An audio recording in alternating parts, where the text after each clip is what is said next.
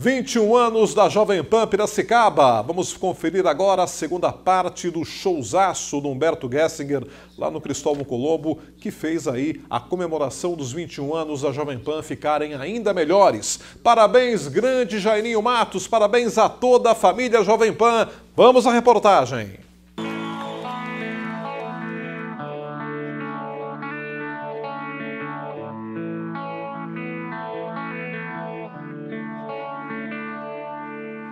Muito prazer, meu nome é Otário. Vindo de outros tempos, mas sempre no horário. Peixe fora d'água, borboletas no aquário. Chegou a grande noite 21 anos do Jovem Pan com um grande astro da música pop, Humberto Gessinger, viajando o Brasil inteiro, insular, uma grande paixão pela música e você é uma marca realmente da MPB. Prazer imenso a Jovem Pan ter a grande atração você hoje à noite. Seja bem-vindo, Humberto. Pô, o prazer é meu, estou muito feliz de estar na área, faz tempo que eu não toco aqui espero que seja uma noite memorável. Legal, me diga uma coisa, de todas as músicas que você tem nos seus trabalhos, existe uma diferença entre a regionalização, o sul do Brasil, o nordeste, tem alguma diferença ou Humberto é inteiro em todo o Brasil, é bem amado em todo o Brasil? Ah, eu acho que sempre cada artista tem um filtro do, do lugar de onde ele veio, né? Eu, esse disco insular deixa mais explícito algumas influências sulinas e, e eu acho que é um sinal de força, assim, da, da cultura brasileira, essa diversidade, quanto mais a gente colocar esses elementos regionais na, na música pop, assim, mais forte e verdadeira ela, ela fica. Né? Só para a gente encerrar da, da, parte da Jovem Pan, você se espelhou em um grande músico, hoje na Jovem Pan a gente dizia que você, Renato Russo, grandes nomes que fazem música e fazem poema. No Brasil falta hoje realmente grandes inspiradores para música, Humberto? Cara, me perguntam isso. Muita gente quer que eu compare o som de outras décadas com o que a molecada faz hoje, mas eu acho muito difícil que tenha diminuído a qualidade de uma geração para outra. Até porque a informação hoje é muito mais livre. Eu acho que talvez não, não esteja havendo tanto espaço para quem escreve assim, coisas mais sofisticadas aparecer. Mas a qualidade eu duvido muito que tenha diminuído desde sempre. E é, só que hoje em dia a gente não pode ser um ouvinte tão passivo, a gente tem que ir atrás das coisas, eu acho. Parabéns pelo talento. Mais uma vez, muito obrigado pela presença. Pô, obrigado, eu agradeço. É uma honra fazer parte do aniversário nessa festa. E a gente esteve junto, Humberto. Em 2005, você esteve no clube de campo, no ginásio. Você é uma referência, é a alma do rock nacional. Você mantém a coerência, o ritmo do Engenheiros não mudou né, do início da década de 80 para cá. Essa é uma virtude que, que o Engenheiros carrega para prender o público antigo e fazer novas gerações? Olha, eu, uh, é uma característica, né? Eu, eu acho uma virtude, os artistas que eu gosto são assim. Pode haver quem ache um defeito, que prefere assim artistas que prefira artistas que, que mudam de ano para ano, mas eu gosto dessa continuidade. Eu tenho dá uma sensação muito boa ver uma música do Insular e achar que ela poderia estar no primeiro disco de Engenheiros, ou tocar uma música do primeiro disco de Engenheiros e, e agora e, e, achar que está valendo. Isso me, me reconforta, assim. É, eu gosto muito mais de ver a continuidade na obra do artista do que as rupturas, assim percebemos uma certa crítica social, política internacional até em alguns últimos DVDs, aquele que você falou do, da, da, da é, armas químicas, é, é. é, toda aquela questão envolvendo inclusive a própria política nacional. O Engenheiros traz isso na alma da sua essência também, né? Cara, é, eu nunca uh, quis falar especificamente sobre isso, mas reconheço que é uma coisa que aparece em várias músicas, porque é uma coisa que aparece na minha música, na, na minha vida, né? Mas é, é, sempre misturado. Uma música como Toda Forma de Poder, por exemplo, que todo mundo tem como uma canção é, bem política, ela tem um refrão pessoal, né? E tem uma, canções pessoais, como Armas Químicas, que tem elementos políticos. Então, o que eu gosto é de fazer essa mistura do, do, do exterior, do social, com o pessoal particular, né? Eu não, não tenho muita, assim, vocação para compor hinos, é, ou românticos, ou, ou, políticos, mas eu gosto muito de misturar essas áreas, sabe? Porque elas, na vida da gente, elas acontecem misturadas. A gente não liga um botãozinho, fica político, depois fica romântico. Tudo acontece junto e eu gosto que apareça assim na minha música. Você canta a essência da alma. Abração. Pô, valeu, obrigado. Valeu. Sucesso, Engenheiros do Havaí. Representado aqui pelo Humberto Gessinger, é o show dele, o show insular Humberto Gessinger, nos 21 anos da Jovem Pan Piracicaba. Chegou a hora, então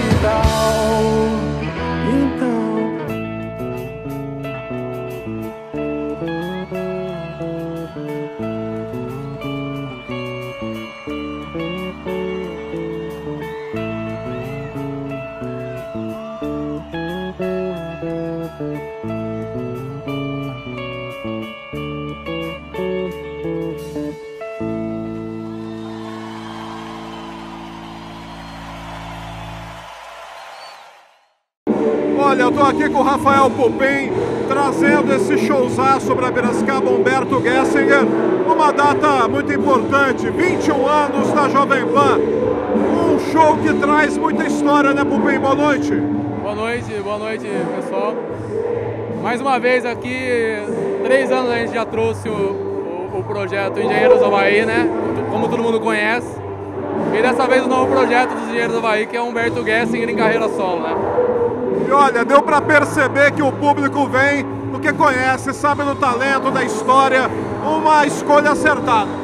Com certeza, um evento, vamos falar, qualidade, né? Qualidade musical, o cara toca todos os instrumentos, não, não tem o que falar. Um evento muito bonito, muito bacana. Agora, esse show é, é, uma constante, né? Que a gente sabe que o Humberto está lançando aí a turnê do Insular e Piracicaba tem pela primeira vez esse show, essa nova formação do Humberto, esse novo CD. Humberto que teve aqui com Engenheiros em 2005. Isso, com certeza. É, eu, não, eu não sei nem o que falar, porque assim, quem teve o prazer de conhecer ele, sabe que ele é uma pessoa simples e atende todo mundo. O Humberto é um, é um cara especial, assim, ó, não tem o que falar, entendeu? Não tem o que falar. Como é que está a promoção de eventos? Vocês estão aí empenhados aí em fazer grandes projetos para a cidade, né? É, o, o ramo está um pouco difícil para a gente trabalhar, né? Acho que em todas as áreas, é, mas alguns projetos são legais, então a gente acaba se envolvendo. Quando a gente se envolve, envolve de cabeça, mas do bom e do melhor, com tudo, né? Escolhe o melhor lugar para fazer, que é o Cristóvão. Eu queria também agradecer a diretoria, né? Que abre sempre as portas pra gente. O presidente Galese, o vice Carlinho Longato, o Cisão, todo mundo, toda a diretoria do clube. Parabéns, Pupim, pela iniciativa. Grande abraço, sucesso. Obrigado, Xan. Até mais. Um abração. Todo mundo.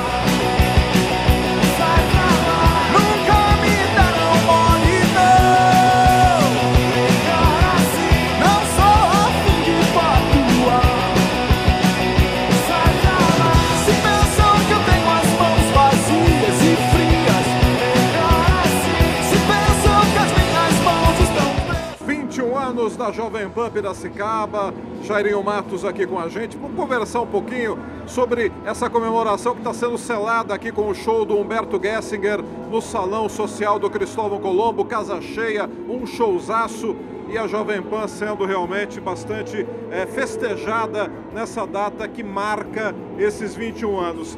Primeira é, filial né, da, da, da rede Jovem Pan Sat, é isso, Jairinho? Boa noite. Boa noite, Nedre. Você disse muito bem. Temos muito a comemorar. São 21 anos, em 3 de junho de 94. Inúmeros shows, inúmeras promoções. E hoje, nesse show com Humberto, ele realmente está coroando esses 21 anos. Eu quero aproveitar para agradecer toda a cidade, a comunidade que abraçou a Jovem Pan, nos recebeu de braços abertos e dizer que esta primeira afiliação da Jovem Pan em todo o Brasil nos dá um orgulho tremendo. E a Piracicaba que inaugurou a rede, que hoje são 50 emissoras em todo o Brasil, todas com maior sucesso. E dá para perceber o apoio do público, a grande presença dos ouvintes da Jovem Pan, num show importante que traz aí é, uma das lendas vivas do rock nacional e que tem aí toda uma trajetória de sucesso, uma história que se confunde com a história do rock nacional e a Jovem Pan presente. Exatamente. Você sabe, Néder, que quando o Naldo Bortolom e o Rafael Popim me chamaram para fazer a parceria da divulgação do evento, eu falei, não poderiam ter escolhido uma figura, um artista melhor, porque a Jovem Pan está completando agora em junho de 2015 a sua maioridade total. 21 anos. E Humberto é justamente esse artista que amadureceu, 30 anos de carreira e de toda forma muito a ver com a Jovem Pan, essa maioridade. Então estou muito feliz, o público aqui, um público bonito, maduro, que tem na época dos Engenheiros do Havaí e também que curte ele como artista. Então, realmente os 21 anos estão muito bem representados com esse show do Humberto. Jovem Pan, que é a rádio de maior audiência em Piracicaba, líder de todas as formas. É um projeto que realmente foi muito bem encampado no ano de 94. Exatamente. Quando a família Carvalho me ligou, eles disseram, Jairinho, se você colocar a Jovem Pan no ar na primeira semana de junho, você vai ser a primeira afiliada. E eu não pestanejei, eu imaginei que seria muito interessante para Piracicaba que Piracicaba fosse a cidade que inaugurasse a rede. Então nós colocamos a rádio no dia 13 de junho, dia 11 já veio Jovem Pan São Carlos, dia 15 Jovem Pan Belém, e eu acho que o projeto né, era um sucesso porque todas as vezes que eu ia para São Paulo, eu gostava de ouvir a Jovem Pan. Então, além de hoje ser diretor da Jovem Pan, eu sempre fui fã da Jovem Pan. Então, eu uni o útil ao agradável e eu não preciso dizer muito que a Jovem Pan é o sucesso que é, porque você vem para Piracicaba, a rádio realmente tem uma repercussão maravilhosa e eu só tenho a agradecer toda a mídia, toda a imprensa, você, a parceria, de estar sempre cobrindo os grandes eventos que a Jovem Pan promove. E é legal perceber que o piracicabano, o empresário, o comerciante, todo mundo se ligou de uma maneira muito especial na Jovem Pan, ela se identificou com Piracicaba. Se identificou e as pessoas falam assim, Jairinho, eu não consigo entender que o Pânico é um programa em que os locutores, o Emílio, o Bolo, o Carioca, ficam brincando com o ouvinte, às vezes xingam, entre aspas, e o ouvinte liga cada vez mais. Eu acho que aí está o grande segredo da Jovem Pan.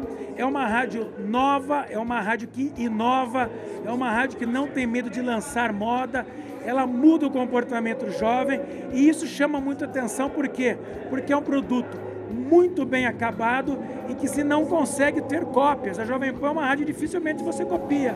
Então eu acho que Piracicaba tem esse subsídio do jovem, tem uma cidade bonita, hospitaleira, pessoal chique, eu posso dizer.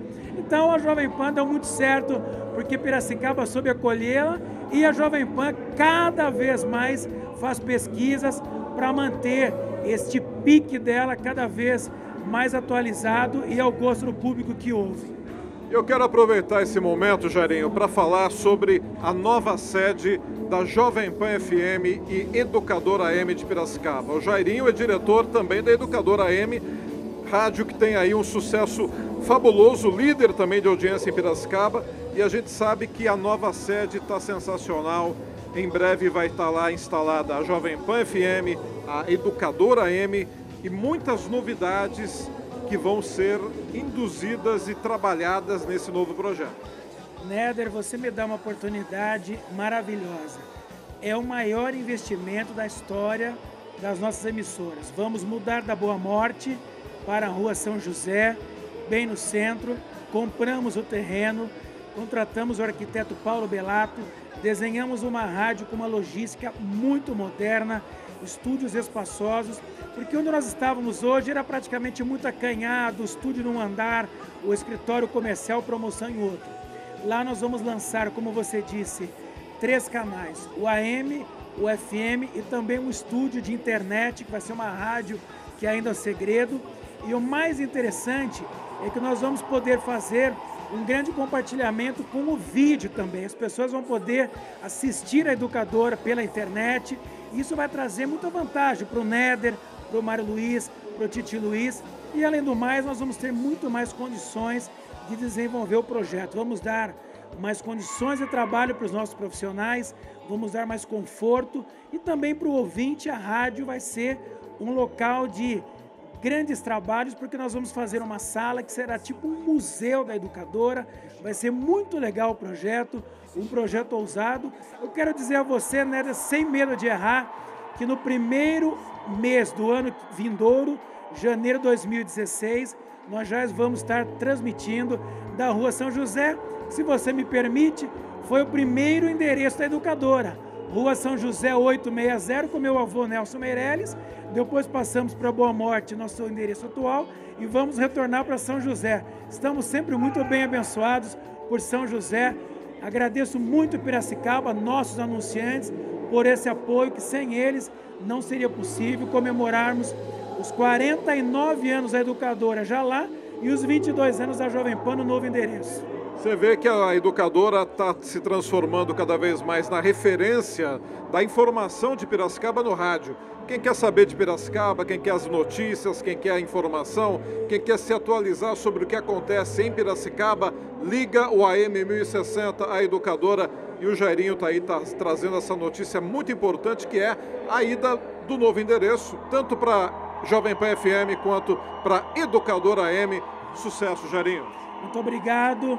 Mais uma vez eu quero ressaltar o grande trabalho dos nossos locutores.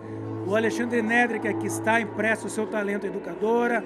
Mário Luiz, Titi Luiz, Celso Meloto, Márcio Terra, Valdir Guimarães. Você disse muito bem, Alexandre. A educadora fincou o pé em Piracicaba. Estamos indo para 400 mil habitantes, daqui a alguns anos, três shopping centers. Temos que falar as notícias de Piracicaba. Você tem o programa Novo Dia, uma hora de duração, de 7 às 8. Eu percebo que muitas vezes uma hora é muito pouco para você poder filtrar todas as demandas da cidade, as reportagens. E vou lhe dizer mais: cada vez nós vamos abrir mais espaço para a comunidade piracicabana, que Piracicaba merece e vai de encontro ao que nós planejamos. Muito obrigado, Alexandre. Obrigado a você, Jairinho, e parabéns mais uma vez, os 21 anos da Jovem Pan. Jovem Pan 21, the number one, a número um. Obrigado.